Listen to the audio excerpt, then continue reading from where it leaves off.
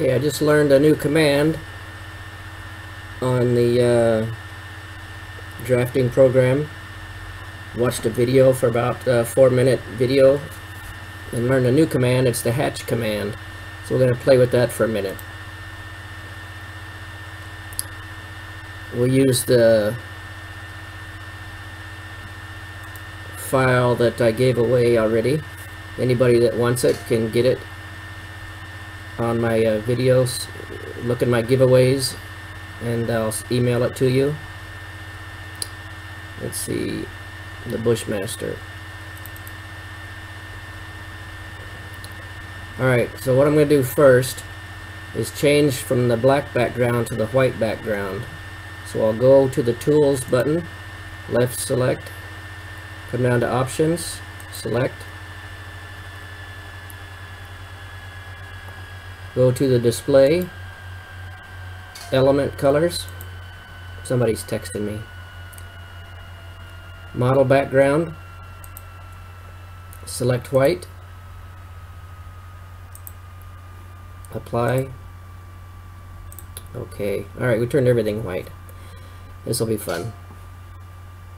Now we go to the hatch button on the left side I'm going to select fill. I'm going to select the color palette here. Standard colors. I'm going to select uh, this dark color. Okay. Select specify points. Now if your area if your if your air if the area that you're going to fill is closed this will work. If it doesn't work then you'll probably need to check your points and make sure that your area is completely closed and all your points are touching all the lines are touching all right. So I select in here. The area to be filled is going to be here. It highlights everything. Hit the enter. Say okay. Oh yeah look at that. That's nice. Oh ho, ho. looks like you could hold it alright so I'm gonna do the same thing up here on this knife we're going to go to the hatch button fill I like that same color I'm gonna keep it I'm gonna specify the points I'm going to do this part of the blade. Enter. Yes. Oh yeah. Alright, now I'm going to do that part of the blade. Something different. Fill. I'm going to change colors to something a little bit lighter. See, standard colors. Let's do something that looks polished. Say okay. I'm going to, oh, that's pretty light. Huh? I'm going to select a darker color than that. Maybe this one. Yeah. Uh, select the, I'm going to do point selection. Select that area. Enter. Yes. Oh yeah.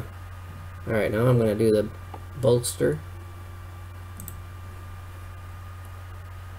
I'm gonna fill it select a color I'm gonna do something that looks bronzy or brownish uh, get way down there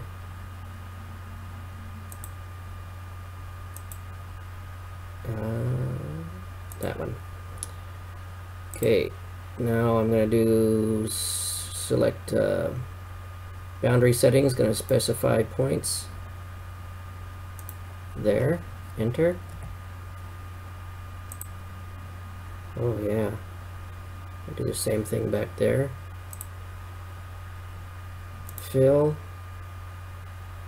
Okay select uh, specify points method select back there yeah okay oh yeah I'm liking that see if I can get a black handle This is fun. Alright. Let's see. Get a darker color.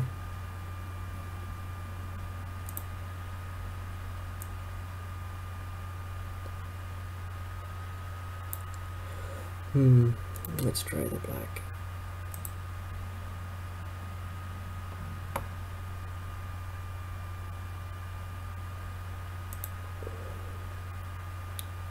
I thought I selected black.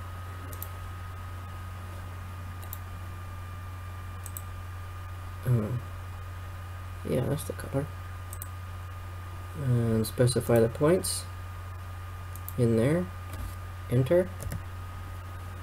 Oh, I don't know if this is going to work right. Huh. I selected black for sure. Alright, and fill.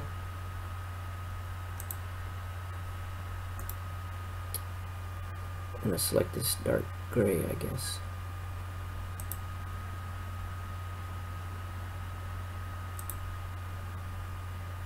And uh, specify a point in there.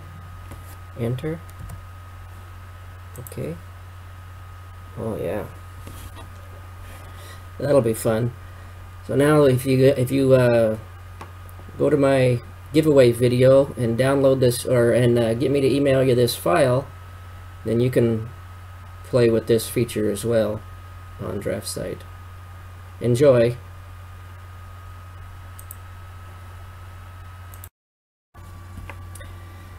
So if you, after you do your hatch in uh, DraftSight, if you say do the save to function, you can save to a PDF or no, it be an export to PDF, and then you can have your colored uh, drawings in your PDF. That looks pretty cool.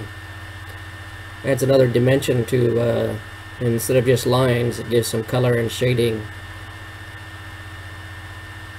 Anyway, have fun with that. Until the next time.